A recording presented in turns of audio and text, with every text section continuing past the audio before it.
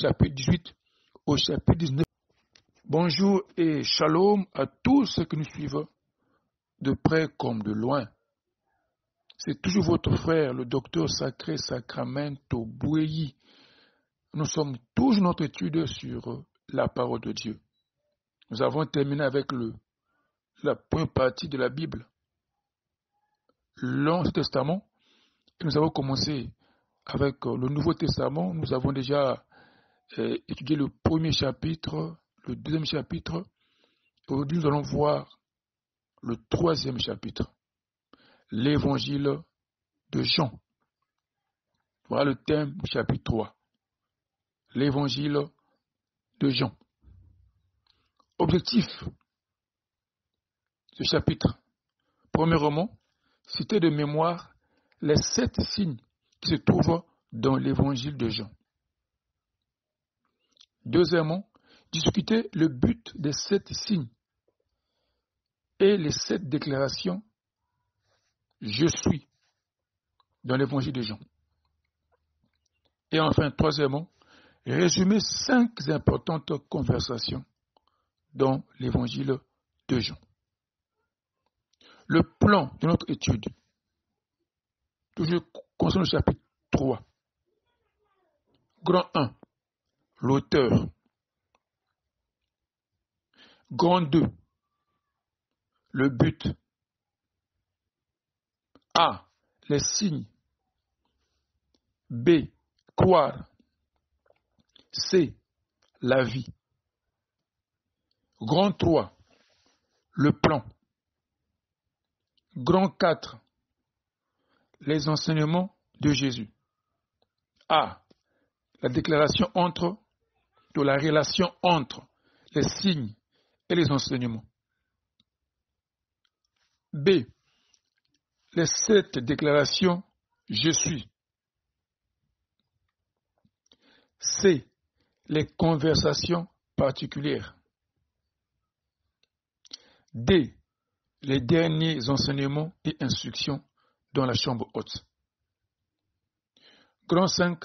L'introduction et la conclusion. Et enfin, grand 6. Résumé.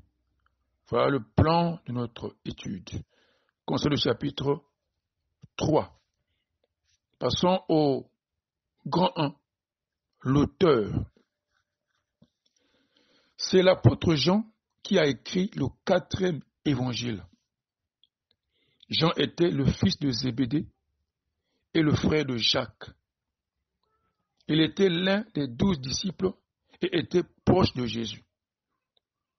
À plusieurs reprises dans le livre, nous le voyons décrit comme le disciple que Jésus aimait. Jean chapitre 13, le verset 23, Jean chapitre 19, le verset 26 à 27. Grand 2. Le but.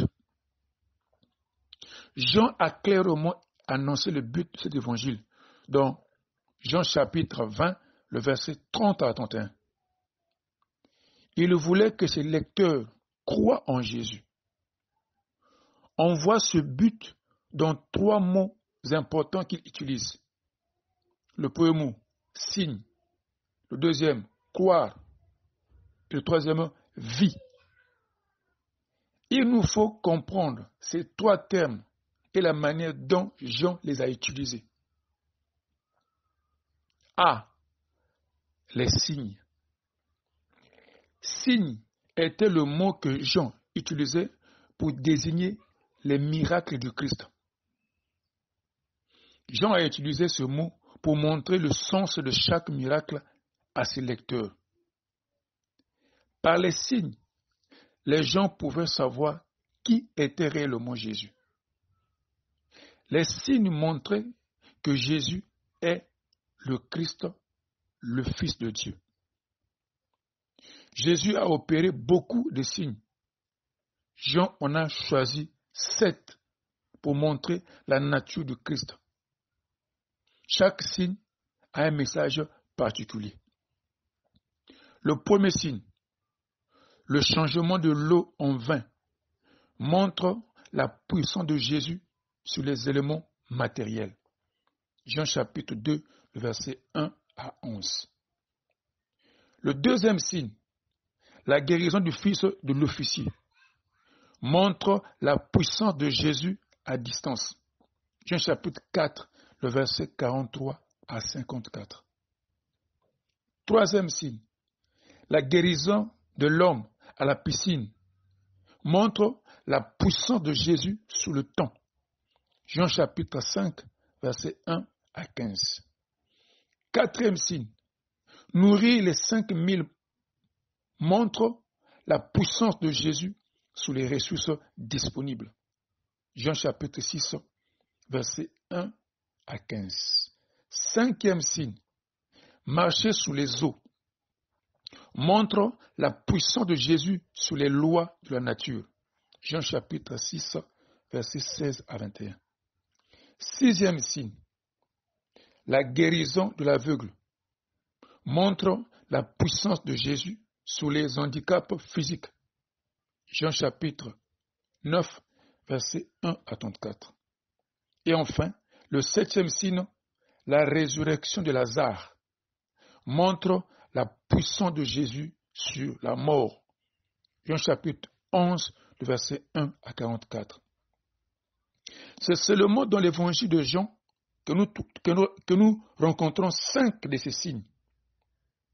Nourrir les cinq mille et marcher sous les eaux sont aussi rapportés dans les autres évangiles. B. Croire. Jean a utilisé le mot croire au moins 98 fois dans son évangile. C'est un verbe d'action qui montre que quelque chose se passe. Jean a enseigné ce que croire en Jésus signifie en donnant des exemples. Non seulement en utilisant des mots. Croire est le mot qui montre la réponse des gens à Jésus. S'ils croyaient en lui, ils devenaient ses disciples. S'ils ne croyaient pas, ils devenaient habituellement ses ennemis. Tous ceux qui le rencontraient devaient choisir, croire ou ne pas croire. Ils ne pouvaient pas éviter de prendre une décision. Jean a utilisé d'autres mots similaires à croire pour clarifier sa pensée. Parmi eux se trouvent les mots recevoir, Jean chapitre 1, le verset 12, boire, Jean chapitre 4, le verset 14, venir, Jean chapitre 6, verset 35, manger, Jean chapitre 6, le verset 51, et entrer, Jean chapitre 10, le verset 9. Tous, tous sont des mots courants. Ils ont une signification plus profonde lorsqu'ils sont appliqués à la relation spirituelle des hommes avec le Christ. Croire en Christ est le fait de recevoir un don. C'est comme boire de l'eau rafraîchissante ou entrer par la porte d'une bergerie. Croire en Christ satisfait la soif et la faim spirituelle d'une personne. C'est la vie. La vie vient lorsqu'on croit en Christ. Les gens reçoivent la vie lorsqu'ils reçoivent Christ. Ils naissent dans la famille de Dieu. Le Seigneur a dit à Nicodème, le pharisien, si un homme ne naît de nouveau, il ne peut voir le royaume de Dieu. Jean chapitre 3, le verset 3. Cette vie est éternelle. Jean chapitre 3, le verset 15.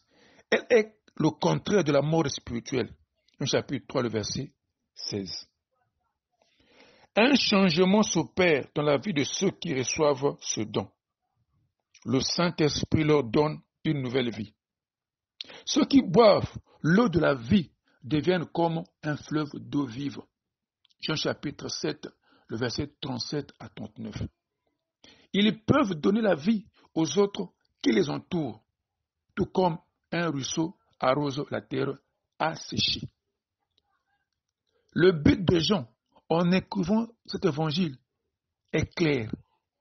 Il voulait montrer à ses lecteurs la personne qui s'appelle Dieu qui s'appelle lui-même Dieu. Jean chapitre 1, le verset 1, Jean chapitre 20, le verset 28. Christ est mort et est revenu à la vie en tant que Seigneur vivant. Il invite ses disciples à rester fidèles et à continuer son œuvre. Jean chapitre 21, le verset 15 à 19. Grand 3, le plan. 1. Introduction. La présentation du Fils de Dieu. Jean chapitre 1, verset 1 à 18. 2. Le ministère public du Fils de Dieu. Jean chapitre 1, verset 19 au chapitre 12, le verset 50. Petit A, sa rencontre avec les gens. Jean chapitre 19, verset, euh, Jean, chapitre, Jean chapitre 1, le verset 19 au chapitre 4, le verset 54. Petit B, sa rencontre avec les foules. Jean chapitre 5, verset 1 au chapitre 6, verset 61. Petit c, les problèmes avec les foules. Jean chapitre 7, verset 1 au chapitre 11, verset 53. Petit d, la grandeur de son ministère public. Jean chapitre 11, verset 54 au chapitre 12, verset 50. 3. Le ministère privé du Fils de Dieu. Jean chapitre 13, verset 1 au chapitre 17, le verset 26. Petit A, le dernier souper. Jean chapitre 13, verset 1 à 30. Petit B, le dernier sermon. Jean chapitre 13, verset 31 au chapitre 16, le verset 33. Petit C, la prière sacerdotale. Jean chapitre 17, verset 1 au verset 26. 4. Le ministère dans la mort du Fils de Dieu. Jean chapitre 18, verset 1 au chapitre 20, le verset 31. Petit a, sa trahison et son jugement. Chapitre 18 au chapitre 19, le verset 16. Petit b, sa crucifixion et son ensevelissement. Chapitre 19, verset 17 au verset 42. Petit c, sa résurrection. Chapitre 20, verset 1 à 31. 5. La conclusion. Le dernier appel du Fils de Dieu chapitre 21, verset 1 à 25. Grand 4. Les enseignements de Jésus. Nous avons discuté le but de, le but de Jean en écrivant son évangile. Nous considérons maintenant les enseignements du Seigneur Jésus écrits dans ce, livre. Qu'est-ce qu'il a enseigné? Comment a-t-il enseigné? A. La relation entre les signes et ses enseignements. Les signes ont donné à Jésus une opportunité d'enseigner. Il a guéri l'homme au bord de la piscine de Bethesda à Jérusalem. Jean chapitre 5, le verset 1 à 9. Après ce signe, les Juifs l'ont questionné sous son droit de guérir le jour du sabbat. Jean chapitre 5, le verset 16. Cela a permis à Jésus d'enseigner qui il était. Il a enseigné qu'il était égal à Dieu en essence. En essence. Essence, bien sûr. Donc l'origine. Jean chapitre 5, verset 17 à 18. En puissance. Jean chapitre 5, le verset 21. Et en autorité. Jean chapitre 5, le verset 26 à 27 notre Seigneur a fait appel à cinq témoins pour confirmer sa divinité. Premier témoin, Jean-Baptiste, Jean chapitre 5, le verset 33. Deuxième témoin, ses propres œuvres, Jean chapitre 5, le verset 36. Troisième témoin, le Père, Jean chapitre 5, le verset 37. Quatrième témoin, les Écritures, le chapitre 5, le verset 39. Et cinquième témoin, Moïse, chapitre 5, le verset 46. Dans Jean chapitre 6, Jésus est confronté au problème de nourrir plus de 5000 personnes affamées. Philippe n'a pas pu résoudre ce problème. Alors André a commencé, alors, alors André a amené à Jésus un garçon qui avait un déjeuner composé de cinq pains et deux poissons. Jean chapitre 6, verset 9. Jésus s'en est servi pour satisfaire les besoins physiques des gens. Jean chapitre 6, verset 12. Le jour suivant, la grande foule revint. Il cherchait probablement un autre repas gratuit. Le Seigneur leur a dit de ne pas travailler pour la nourriture qui périt. Jean chapitre 6, verset 27. Ensuite, il leur a enseigné sur leurs besoins spirituels. C'est là qu'il leur a dit, je suis le pain de vie. Jean chapitre 6, le verset 35. Un long sermon a suivi le signe de nourrir les cinq mille. Dans ce sermon, Jésus a montré la différence entre la chair et l'esprit. Jean chapitre 6, le verset 63. Il a révélé le problème de compréhension des vérités spirituelles pour les gens. 1. Les faux motifs. Il a montré qu'ils avaient des faux motifs. Jean chapitre 6, le verset 26. Les gens sont venus vers lui seulement pour du pain matériel. Ils n'ont pas compris le vrai sens du signe. 2. Les fausses œuvres. Il leur a montré qu'ils accomplissaient des fausses œuvres. Jean chapitre 6, le verset 27. Ils, ils ont manqué de faire l'œuvre de Dieu. 3. Les fausses croyances. Il leur a montré qu'ils avaient des fausses croyances sur leur héritage religieux. Jean chapitre 6, verset 30 à 31. Ils pensaient que Christ n'était pas plus grand que Moïse. 4. Les faux désirs. Il leur a montré qu'ils avaient des faux désirs. Il demandait que ce pain-là, Jean chapitre 6, verset 34, Jésus leur a expliqué ce que manger le pain de vie signifie. Jean chapitre 6, le verset 51. Mais les gens se sont plaints de lui pour avoir dit cela. Ils discutaient entre eux sur ce que Jésus a voulu dire. Jean chapitre 6, le verset 52. 52. Finalement, plusieurs de ceux qui le suivaient sont retournèrent. Jean chapitre 6, le verset 66. Jésus a guéri un aveugle dans Jean chapitre 9. Ce signe a été un grand exemple. Un grand exemple, un grand exemple sous sa déclaration d'être la lumière du monde. Jean chapitre 8, le verset 12 chapitre 9, le verset 5. Jésus a ressuscité Lazare, chapitre 11, pour illustrer sa déclaration, d'être la résurrection et la vie. Jean chapitre 11, le verset 25. B. Les sept déclarations je suis, vu qu'il y en a plusieurs. Le Seigneur Jésus a utilisé ces mots je suis pour montrer aux gens qui il était. Voici quelques-unes des déclarations de Jésus.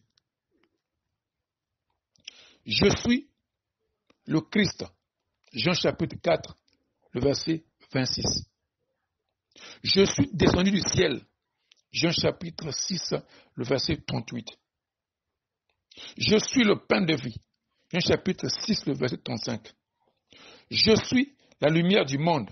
Jean chapitre 8, le verset 12. Jean chapitre 9, le verset 5. Je suis la porte. Jean chapitre 10, le verset 7 et le verset 9. Je suis le bon berger. Jean chapitre 10, le verset 11. Je suis la résurrection et la vie. Jean chapitre 11, le verset 25. Je suis le chemin, la vérité et la vie. Chapitre 14, le verset 6. Je suis le vrai cep. Chapitre 15, le verset 1. Je suis avant Abraham. Chapitre 8, le verset 58. Je suis le Fils de Dieu. Chapitre 10, le verset 36. Je suis le roi. Chapitre 18, le verset 37. On peut s'arrêter là concernant cette déclaration. Jésus a souvent enseigné qu'il n'y a personne qui soit son égal. Jean a montré que Jésus est, un, le seul qui donne la vie. Jean chapitre 6, le verset 35. Deux, la seule lumière du monde. Jean chapitre 8, le verset 12. Quiconque le refuse marche dans les ténèbres. 3. Le seul chemin qui mène à Dieu. Nul ne vient au Père que par lui. Jean chapitre 14, le verset 6. 4. Le seul vrai cep. Il est l'original, non une copie ou une imitation. Jésus avait dit aux Juifs, en vérité, en vérité, je vous le dis, avant qu'Abraham fût, moi, je suis. Jean chapitre 8, le verset 58. Il est donc, il s'est donc donné le titre de Dieu. Je suis des écrits de l'Ancien Testament. Je suis est le nom par lequel Dieu s'est lui-même révélé à Moïse. Exode chapitre 3, le verset 14. C'est les conversations particulières. Pour atteindre son but, Jean rapportait des conversations entre Jésus et d'autres personnes. Jésus a souvent rencontré des gens, mais ils ne sont jamais restés indifférents à l'issue de ces rencontres. Soit ils croyaient et le suivaient, soit ils sont retournés incrédules. Nous voyons beaucoup d'exemples de ce genre dans l'évangile de Jean. Quelques-unes des conversations les plus importantes ont conclu, ont inclus. Je disais, quelques-unes des conversations les plus importantes ont inclus André, Simon-Pierre et Nicodème. 1. André, Jean chapitre 1, le verset 35 à 42. Jean chapitre 6, le verset 8 à 9. Jean chapitre 12, le verset 20 à 22. Nous ne connaissons pas André autant que Pierre, son frère. Pourtant, André était important aussi. Il fut le premier à croire en Jésus lui-même. Ensuite, il est devenu l'ouvrier spirituel qui a aidé les autres à croire. Nous le voyons toujours amener quelqu'un à Jésus. Premièrement, il a amené son frère Simon. Plus tard, il a amené à Jésus le garçon qui avait son déjeuner, juste avant que les cinq mille soient nourris. Enfin, André a amené à Jésus des visiteurs grecs venus à Jérusalem qui voulaient le rencontrer. Deux, Simon-Pierre, Jean chapitre 1, le verset 42. Jean chapitre 6, le verset 68 à 69. Jean chapitre 13, le verset 36 à 38. Jean chapitre 18, le verset 15 à 18. Et le verset 25 à 27. Jean chapitre 21, le verset 15 à 22. Lorsque Simon a rencontré Jésus, le Seigneur a prophétisé sur son nouveau nom, Pierre. Ce changement signifiait aussi un changement dans le caractère de Simon. En tant que Simon, il était instable et non fiable. Cependant, il devint ferme et fiable. Céphas, qui signifie, ce nom signifie rocher. Pierre était prêt, prêt à confesser sa foi en Jésus, le Saint de Dieu. Il régna son Seigneur plus tard. Cependant, Jésus l'a miséricordieusement rétabli. Le Seigneur a changé Pierre. Le Seigneur a chargé Pierre de le suivre à nouveau et de paître ses brebis. 3. Nicodème, Jean chapitre 3, le verset 1. Aussi, Jean chapitre 7, le verset 50 à 51. Et Jean chapitre 19, 39 à 42. Nicodème avait été formé pour connaître les vérités de l'Ancien Testament. Mais il ne connaissait toujours pas la nouvelle naissance. Nicodème ne savait pas que Jésus était le Messie. Le Seigneur lui a montré comment il était le type du serpent dans le désert de l'Ancien Testament. Christ est venu pour être le sauveur de tous ceux qui croient en lui. Les événements plus tard montrent que Nicodème est vraisemblablement devenu un croyant ou disciple de Jésus. D'autres personnes ont joué un rôle important dans l'évangile de Jean. Ce sont Philippe, un chapitre 1, verset 43 à 46, Jean 6, verset 5 à 7, Jean 14, 8 à 14. 2. La femme samaritaine, Jean 14, 1 à 42. 3. L'aveugle, Jean chapitre 9, 1 à 39. 4. Marthe et Marie, Jean chapitre 11, 1 à 46. 5. Thomas, un exemple de foi accomplie. Jean chapitre 11, verset 16. Jean 14, 5 à 7. Jean chapitre 20, 24 à 28. Il n'a pas cru au départ. Plus tard, Thomas a confessé la divinité du Christ, mon Seigneur et mon Dieu. Le chapitre 20, le verset 28. 6. Pilate, un exemple d'incrédulité. Le chapitre 18, verset 28 au chapitre 19, le verset 26. 7. Judas Iscariote, un exemple de celui qui connaissait le chemin, mais qui s'en est détourné. Chapitre 6, verset 70 à 71, chapitre 13, le verset 21 à 30, Jean chapitre 18, le verset 1 à 5. D les derniers enseignements et instructions dans la chambre haute. Jésus a donné un sermon inhabituel vers la fin de sa vie. Cela est rapporté dans Jean chapitre 13 au chapitre 16. Il est souvent appelé le sermon dans la chambre haute. Les détails de ce sermon ne se trouvent que dans Jean. Jésus avait fini son ministère public à la fin du chapitre 12 il a ensuite eu des rencontres en privé avec ses disciples. Jésus leur a parlé de, deux choses importantes qui allaient arriver.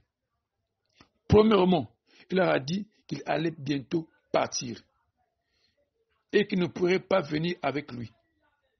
Jésus leur a promis qu'il reviendrait plus tard les prendre pour les amener chez le Père. Deuxièmement, Jésus a dit à ses disciples qui ne laisserait jamais seul. Chapitre 14, verset 18. Il enverrait un autre consolateur pour être avec eux. Notre Seigneur a promis d'envoyer le Saint-Esprit pour prendre sa place. Le Saint-Esprit habiterait en eux. Chapitre 14, verset 17. Les, les, les enseignerait. Chapitre 14, verset 16. Et leur donnerait la puissance de témoigner. Chapitre 15, verset 26 à 27 et le Saint-Esprit les guiderait aussi dans toute la vérité. Chapitre 16, verset 13. Grand 5. L'introduction et la conclusion. L'introduction, chapitre 1, verset 1 à 18, et la conclusion, chapitre 21, verset 1 à 25, de Jean sont importantes. L'introduction contient le message de l'évangile. C'est là que Jean a énoncé les trois importants thèmes de son évangile. 1. Le personnage principal. Jean a présenté le personnage principal du livre, la parole. La parole est Dieu, le Créateur, la source de la vie, et celui qui est venu en chair Jésus est celui qui révèle le Père. Deux, les mots-clés. Il a présenté les mots-clés du livre. Ils sont la vie, la lumière, les ténèbres, le témoin, croire et la vérité. Trois, l'action principale. Jean a aussi énoncé l'action principale du livre, le conflit. Jean a utilisé des termes simples pour montrer un grand conflit spirituel entre donc, qui oppose la lumière aux ténèbres, recevoir ou ne pas recevoir, la nouvelle naissance s'oppose à la naissance spirituelle, la loi opposée à la grâce et à la vérité. Ces grands conflits se poursuivent au travers de tout le livre jusqu'au conflit final. La croix, la mort contre la résurrection, la vie. La conclusion relate les résultats de l'évangile. Elle enseigne la conséquence logique de la foi en Jésus. Celui qui croit vraiment en Jésus le suivra. Cette foi l'animera et le rendra active dans le service. Jean chapitre 21, le verset 19. Pierre a appris que croire en Jésus est plus que le confesser de la bouche. La foi en Jésus a exigé de Pierre qu'il se donne complètement pour le service du Christ. Grand 6. Résumé. L'évangile de Jean est très différent des trois autres. La plus grande partie de ce que Jean a écrit ne se trouve que dans son livre. Les signes suivants se trouvent que dans Jean 1, le changement de l'eau en vin, chapitre 1, le verset 1 à 11. 2. La guérison du fils de l'officier, chapitre 4, verset 43 à 54. 3. La guérison de l'homme à la piscine, chapitre 5, verset 1 à 15. 4. La guérison de l'aveugle, chapitre 9, verset 1 à 39. Et enfin 5. La résurrection de Lazare, chapitre 11, verset 1 à 45. Le but de, le, but de Jean va au-delà du récit de l'histoire de Jésus-Christ seulement. Il voulait que ses lecteurs croient en Jésus. Les miracles ou les signes que Jean a rapportés aident les gens à savoir qui est Jésus. Avec cette connaissance, ils peuvent croire en lui.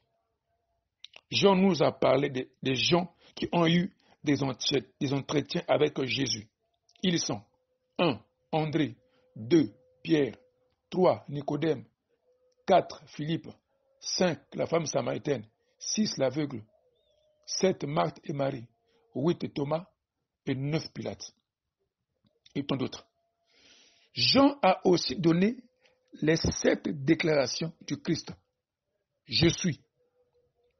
Puis Jean se sert d'opposition dans son évangile pour décrire la lutte ou le contraste entre la lumière et les ténèbres, la foi et l'incrédulité, la naissance spirituelle et la naissance euh, physique, la loi et la grâce, la croix, la mort et la résurrection, la vie.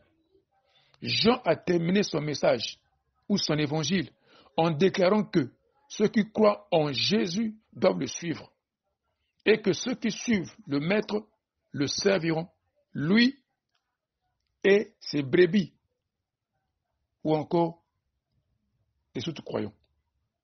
Point final à notre étude sur l'évangile de Jean. Demain, nous allons